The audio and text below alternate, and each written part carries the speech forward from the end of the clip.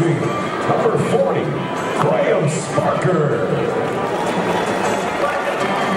That picture takes Sports. I'm looking on Mason.